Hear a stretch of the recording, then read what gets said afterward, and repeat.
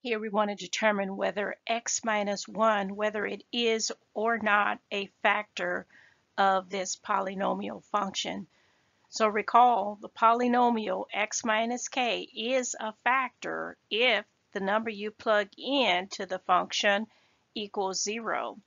Uh, so let's go ahead and do our synthetic division. When we're given um, the number in factored form, to take it out of factor form, remember just think of like you're solving for x. Set that equal to 0 and solve for x. To solve for x, you would have to add 1, which means x equals 1.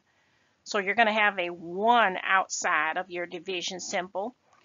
Let's check to make sure that we are not missing uh, any degrees here.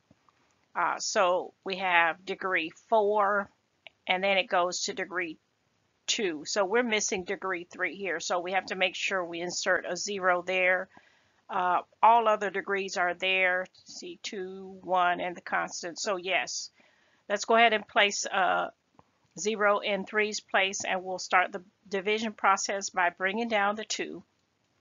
Multiply that with 1 to get 2. Bring down 2. Multiply that with 1 to get 2. Bring down 5.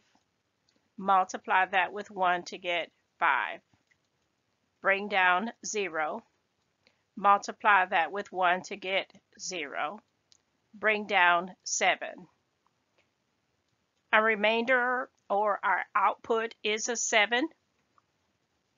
In order for the number we plugged in to be a, a 0 or factor, we must have a 0 out. Since we did not get a 0 out, it means that x minus 1 uh, that it is not a factor of this polynomial function.